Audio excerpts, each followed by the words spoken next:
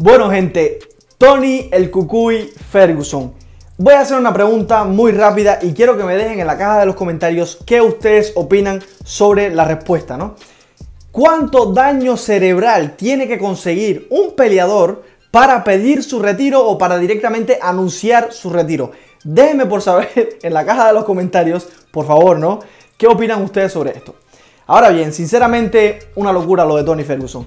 No me agrada que un peleador, una leyenda de la UFC, una leyenda de las MMA, un tipo tan dominante como lo fue Tony Ferguson en su momento, le esté pasando lo que le está pasando actualmente, lo que estamos viendo con él dentro de sus peleas. Un tipo que ya no es rápido, un tipo que ya no reacciona de la misma forma que reaccionaba antes, un tipo que ya no es agresivo como lo era antes, un tipo que no es contundente como lo era antes. Por lo tanto, desde mi punto de vista, después de seis derrotas consecutivas, seis derrotas consecutivas, gente. Está a una derrota más de convertirse en la peor racha de las 155 libras. Sinceramente, yo nunca creí que Tony Ferguson iba a caer tan bajo. Y se puede caer más bajo. Si él no se retira, si él, si su equipo, si su entorno más privado no le aconsejan que se retire, le van a seguir cayendo a golpes le van a seguir haciendo exactamente lo mismo que le hizo Bobby lo mismo que le hizo Justin Gaethje, lo mismo que le hizo Charles Oliveira, lo mismo que le hizo Michael Chandler, lo mismo que le han hecho todos los peleadores a los cuales él se ha enfrentado y que ha terminado perdiendo ya sea por sumisión, ya sea porque lo duermen directamente por caos espectaculares o directamente por puntos. En este evento de UFC 291, lo que le pasó con Bobby Green era algo que realmente yo me esperaba. Yo no hice predicciones para esta pelea porque sinceramente dije, va a ocurrir exactamente lo mismo que ha ocurrido en las últimas 5. Lo van a finalizar, de una forma u otra lo van a finalizar. Es increíble como un tipo tan dominante como Tony Ferguson llegue a esto.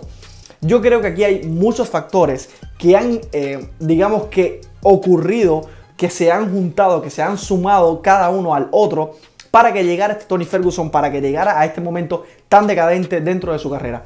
Sinceramente, cuando yo estaba viendo la pelea, cuando la pelea comenzó, sinceramente no sé, pero dentro de mí yo sentí algo como que puede ganar. Tony Ferguson puede dar la nota discordante y puede ganar. Y en ese primer asalto, con ese knockdown que él hizo, yo creo que cambió mis expectativas. ¿Por qué les voy a decir? Cuando un peleador hace un tipo de knockdown de esta forma, fue, hay que decirlo, un golpe de encuentro. Tony Ferguson tira el recto con la derecha y logra conectar bien porque Bobby Green también venía hacia adelante y recibe ese recto seco ¿no? en la cara y lo tumba. Pero Tony Ferguson estaba tan lento, tan descolocado dentro de la pelea, que cuando hace ese knockdown, simplemente se queda parado, se queda estático, no le va hacia arriba. Desde la primera pelea que él perdió contra Justin Gaethje, desde esa pelea, que realmente fue una pelea, digamos que una masacre, Justin Gaethje lo golpeó por todos lados, le pegó como quiso a voluntad, no logró noquearlo porque sinceramente Justin Gaethje es un tipo más de volumen que de golpes contundentes, es un tipo más mucho más de volumen, de golpes enteros, de golpes significativos, pero no es un tipo que tenga una pegada tan espectacular o tan potente, digamos, como por ejemplo la sí la tiene eh, Dustin Poirier, a pesar de que en esta última pelea no hizo falta pegar con las manos, eh, patada espectacular y chapó BMF para Justin Gaethje. Pero bien, yo creo que después de esa paliza que recibió contra Justin Gaethje, cada una de las peleas eh, que ha tenido, cada una de estas derrotas consecutivas que ha tenido Tony Ferguson, ha recibido prácticamente palizas también. Porque Bobby Green no está ni en el top 10 de la división de las 155 libras. No existe Bobby Green. No es de los tipos más peligrosos dentro de la compañía actualmente. Sin embargo, le tiraba por todos lados. Cada golpe que le tiraba, cada combinación de 1, 2, 3, cada combinación, cada volado, cada golpe que tiraba Bobby Green, simplemente Tony Ferguson buscaba el encuentro con ese golpe. No esquivaba los golpes. Esquivaba uno de casualidad prácticamente y después empezaba a cabecear exactamente hacia donde estaban los golpes. Y esto sin hablar de su estilo tan particular, ese estilo tan poco ortodoxo que tiene Tony Ferguson. Esto de tirarse, hacer esos rolls de repente y tirarse en el suelo buscando una pierna, buscando agarrar algún brazo, agarrar algún pie de Bobby Green, cosa que antes le salía de manera espectacular contra otros peleadores, ya simplemente no le sale hace ese roll y simplemente termina por debajo. Porque recuerden que precisamente Bobby logra encajarle ese katagatami debido a este tipo de acciones que hace Tony Ferguson, que hacía en su momento muy bien, pero que ahora no le salen para nada. Es un tipo que ya dejó de ser aquel cucuy, aquel tipo tan dominante, aquel tipo que metía miedo en sus peleas. Y yo creo que otro de los factores que han llevado precisamente a que Tony Ferguson esté en el lugar donde está actualmente es por ese tipo de victorias que él consiguió. Esas 12 victorias consecutivas que él consiguió en las 155 libras. Cada una de ellas fueron guerras, gente. Cada una de ellas llevó a que Tony Ferguson recibiera un daño bastante importante en su cerebro. Bastantes contusiones cerebrales él recibió por cada una de esas peleas que él logró conseguir victorias a pesar de que fueron victorias consecutivas, a pesar de que la ganó por caos, por sumisiones, por puntos, por lo que sea, cada una de esas peleas incluía muchísimo daño, porque Tony Ferguson tiene este estilo que parece como si fuera un animal cuando le ponen su comida adelante, parece un burro cuando le ponen la manzana adelante, simplemente va hacia adelante, hacia adelante, hacia adelante, y lo que pasa es que se come una barbaridad de golpes en su momento, cuando estaba en su prime, también se los comía. Simplemente es un tipo que aguanta muchísima cantidad de golpes, ¿ok? Y por eso tenía esta aura de imbatibilidad en su momento.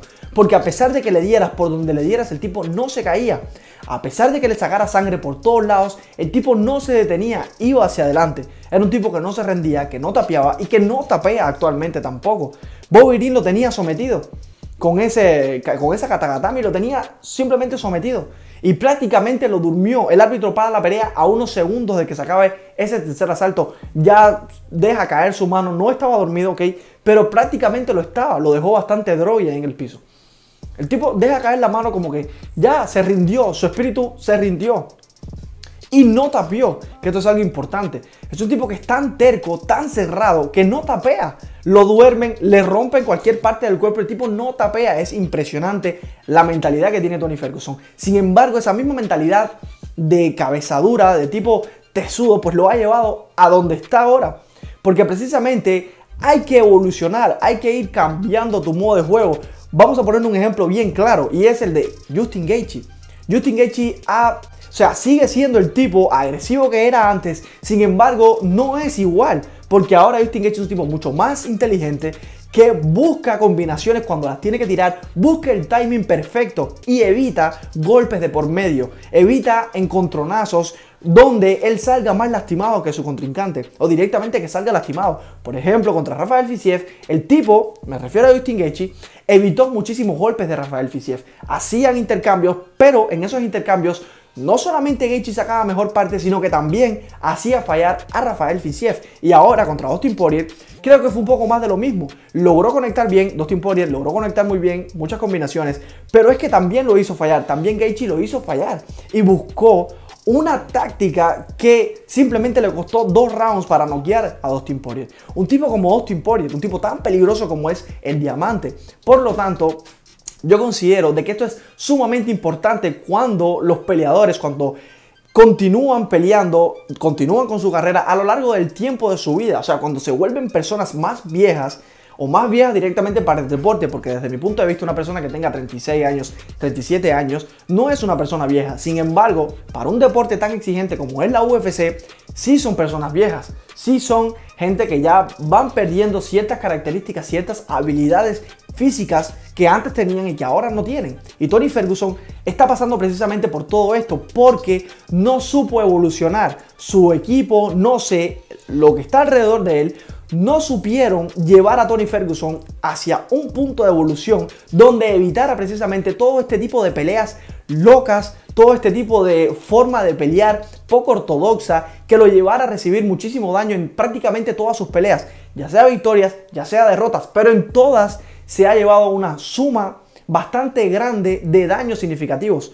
¿Ok? Y por lo tanto, este es el resultado. Un Tony Ferguson lento, un Tony Ferguson que no reacciona, un Tony Ferguson que cabecea para donde están los golpes, ¿ok?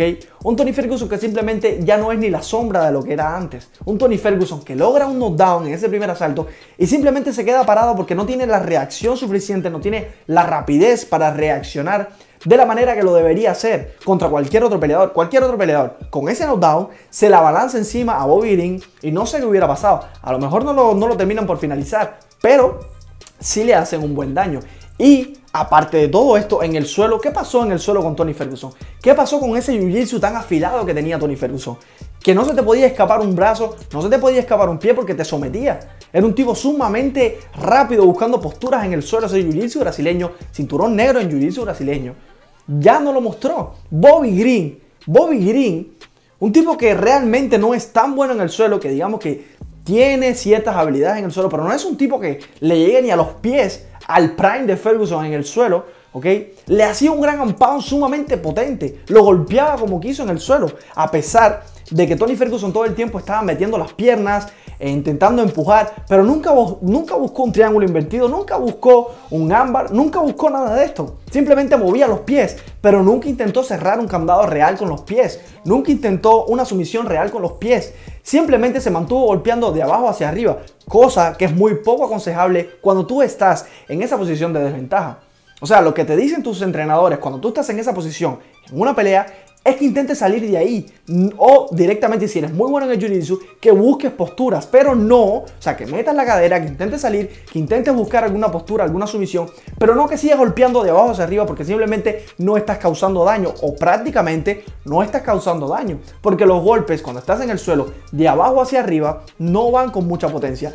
Si puedes meter los codos, los codos es algo que puedes utilizar y que te va bastante bien, puedes hacer daño a tu contrincante, pero es que Tony Ferguson estaba haciendo cualquier cosa y se estaba comiendo todos los golpes de martillo que estaba tirando Bobby Green.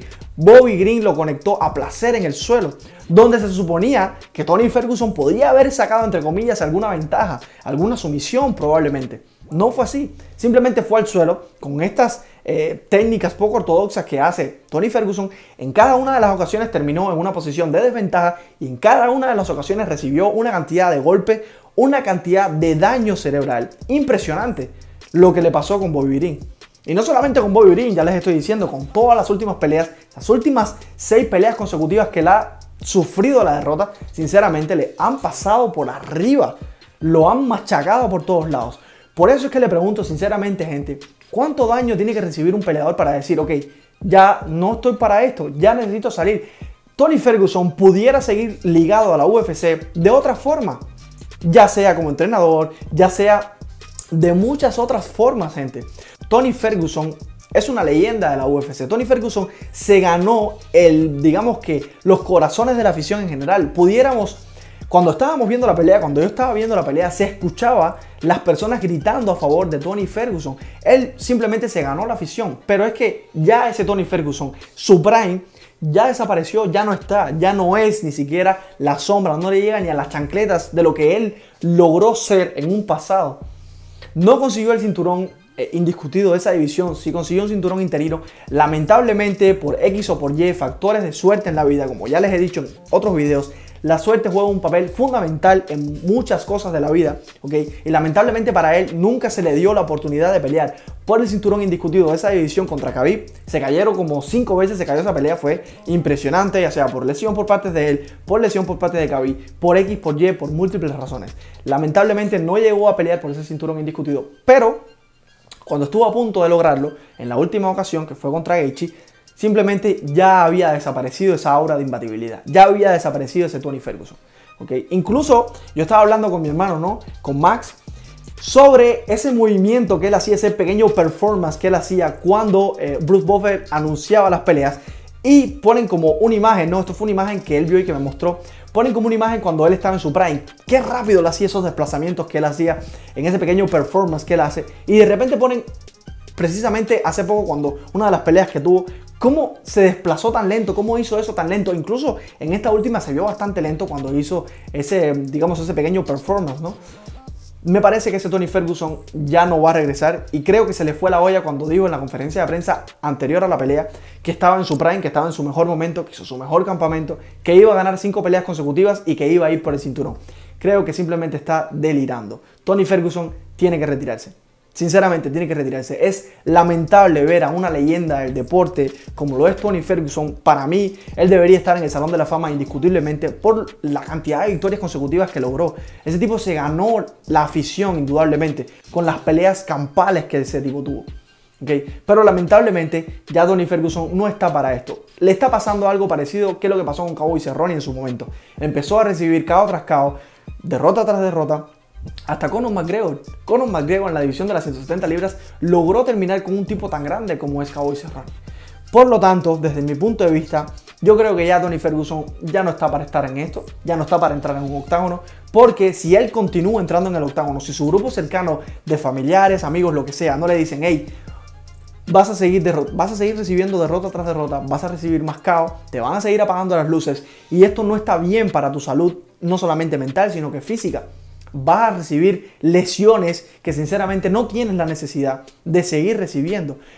Yo creo que si él continúa peleando, sinceramente la UFC debería hacer una pelea entre él y sinceramente, ¿eh? Conor McGregor. Yo creo que ahí ya y terminar con uno de los dos, sacarse uno de los dos del medio y por un lado él ganaría el dinero que sinceramente se mereció ganar en múltiples ocasiones dentro de su carrera y por otro lado Conor pues retiraría directamente una leyenda de la UFC. En caso de que él gane, yo considero de que actualmente Conor McGregor, a pesar de todas las cosas, puede ganarle a este Tony Ferguson. Este Tony Ferguson está acabado, gente.